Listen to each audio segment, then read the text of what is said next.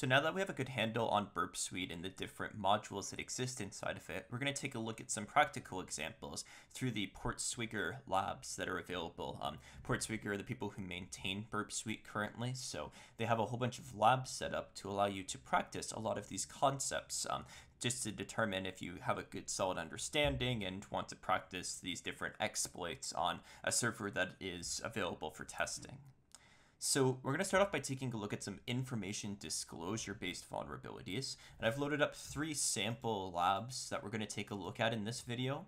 In general, the all labs section will have a list of every single lab that exists. So if you ever want to access any of them, this would be the place to go for that. Um, again, I'll put this into the resources section of this course so that you're able to access this um, whenever you would like to do that. So we're going to start off by taking a look at information disclosures and error messages.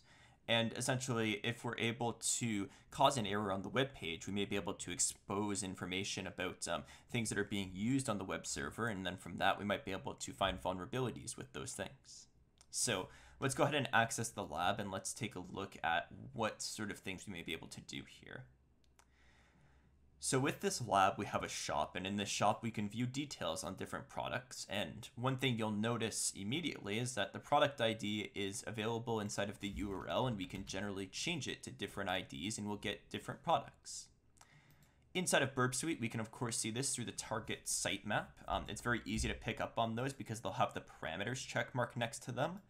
So this is an easy way that we can determine anything that has parameters, and parameters are things that we're able to control, which means that they're things that we want to try inputting stuff into to see what happens. So in general, if I want to try exploiting this, what I can do is I can take a look at my request and I can see that I have a product ID that's enabled inside of it and I can potentially change the product ID to something in order to cause an error or um, expose some information to me. So to do this in Burp Suite, I'm going to send this to the repeater. And then with the repeater, what we can do is we can, of course, change this product ID to something else just to see what might end up happening. For instance, if I change it to 3 and send it, um, I'll, of course, get a render of a page that has the product related to ID 3. Now the question would be like, what if we do something like crazy? Like maybe I could put in a product ID that doesn't exist. Um, in this case, it gives me a not found error, so that's not particularly interesting. Um, but one other thought that I have here is, well, it's expecting a numerical input for the product ID. So let's go ahead and put in some text and see what happens. When I do this, you'll see that I instead get a 500 internal server error. This is definitely interesting to us. Any sort of internal server errors are always a good sort of indication that something has gone wrong. It means that either um, there's something that we can exploit here, some information that we can gather. In this case, we have, of course, our stack trace, which tells us information about what the application is doing. We can see it tries to parse an integer and fails. Um, that's what happened when we put in the text, right? It just runs a parse int. It fails on that, so it gives us this stack trace. But most interesting here is that we get this leak of the Apache Struts version. Apache Struts is sort of like one of the backend uh, open source softwares that's being used to process these web pages. Now, the reason why this is interesting to me is because I can go ahead and I can look up that specific version of Apache Struts and look up vulnerabilities associated with it.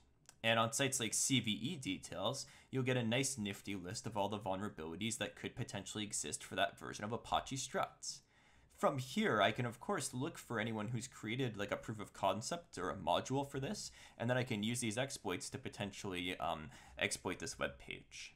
So any exposure of information like this through error messages is really bad. We want to make sure that these sort of things don't happen. So um, with Burp Suite, it's fairly easy to find them just looking at our sitemap for anything with parameters, try putting in some different inputs for the parameters, and there we go. We'll be able to potentially get an exploit. Now I want to mention as well, we can of course send this to our intruder as well and we would be able to you know inject information into this product ID and for the payloads we can put in a bunch of random garbage to see if anything works. Um, it would be sort of like a an elementary version of fuzzing the application. And um, as I mentioned before, one of the benefits of this is that if we have an application, we can go ahead and set up like a word list of known like vulnerable inputs or known uh, bad inputs that have caused errors in the past, and we can continually test it every time we have a new build just to make sure we haven't broken something or caused a regression. So this is our first example of information disclosure. For our next example, we're going to take a look at um, disclosure through backup files. So I'm going to go ahead and access this lab and we'll take a look at what sort of things we may be able to find here. So upon first accessing the lab, of course, we have a very similar setup to our previous one, um, where we have our different like products, we have our different resources, um, and we're able to access the different products through the IDs.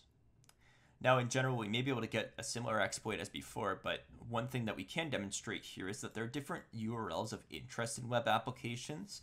Um, one of them is robots.txt. What robots.txt does is it tells search engines um, what sort of information it should index and what sort of information it shouldn't index. If we ever see disallow, this typically tells us something that they don't want search engines indexing, which in turn tells us something that may be of interest to us. So this backup directory here is something that is disallowed. So if we try to navigate to the backup directory, what we'll find is that we're able to access it. And we can see that we have a product template.java.back and inside of here, we can see information about the, um, the uh, SQL server, which includes things like the location, the username, and what we assume is probably the password, as well as the SQL query that's being used to actually generate the, um, the information. So this is all, of course, of great interest to us because if we have the password, then we know all the information we need to be able to exploit this web application. So in general, things like robots.txt are really good places to look for general information disclosure based vulnerabilities. Now, the last thing we'll take a look at is an authentication bypass through information disclosure.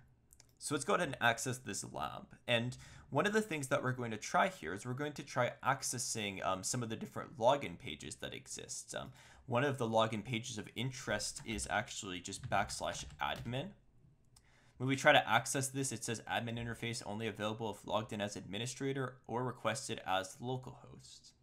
The or requested as a local host is very interesting to me because it means that maybe I can manipulate my request to appear like it's coming from localhost, and that would be a perfect job for something like Burp Suite.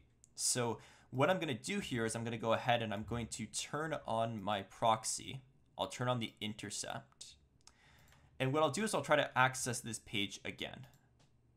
So we'll come back here, we'll go ahead and press enter and try to access it. So we see that we have a get to admin and I'm going to send this to my repeater so that I have it available and then I'll turn my intercept off because I don't need that anymore.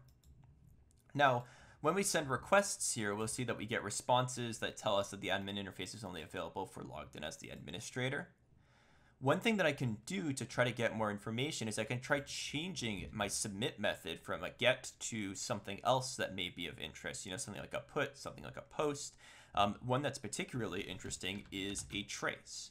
And a trace will give us general information about the actual request that we're sending. When I do this, you'll see that it returns back um, a lot of good general information about our request in general. So we can see information such as like um, you know the uh, the user agent for instance um, you know just general information about the request but one thing that's of interest here is this x custom ip authorization and I can see that this IP appears to be different from localhost, of course, and potentially maybe this is what we're using to determine if localhost is being used as the access method, like, um, you know, if the request is coming from localhost or if it's coming from somewhere else. So this trace has returned to me information about a header that I didn't really know was being sent. This means maybe I can take this and add it into my request and maybe that will allow us to be able to compromise the web page. So let's go ahead and try that. Let's just copy this. And what I'm going to do is I'm going to, so we'll generally just, um, just copy this data here. Uh, let's do a copy. And I'm going to add this into my header. So I'm going to add the custom IP authorization portion. And I'm going to keep the IP the same just to um, show what generally is happening here. So if I keep the IP the same and I send this, you'll see that nothing really changes. Now, if I change this IP slightly, like I put down .60 for instance, and I try sending this, you'll see the IP changes to match that. So we can see that in general, it's taking this information at face value of whatever I'm inputting inside of here. So if I want to make my request look like it's coming from my local hosts, I'll just put like the local host IP in, the 127.0.0.1. When I send this, I see that it gives me that exact IP address. So now let's change this back to a get and see what happens. You can see that when we do this and we render this page, I get access to the administrator page where I can delete users from the web page. So this was generally able to be done because we were able to run a trace which told us header information that we shouldn't have been able to see. Since we were able to see that information, we were able to tell what IP address is being used and how it's being used in general. And then we were able to add that into our header, adjust it to localhost, and make it appear as if we were coming from localhost even though we weren't. This kind of request tampering is something that's very um, useful to be done through Burp Suite because we can easily intercept and resend packets, um, adding whatever information we need. So this sort of general experimentation is very easy to do through Burp Suite. So this will generally give you a good amount of information of how we can take a look at information disclosure related vulnerabilities and be able to exploit them using Burp Suite. So this should generally show you some applications of Burp Suite for information disclosure related vulnerabilities.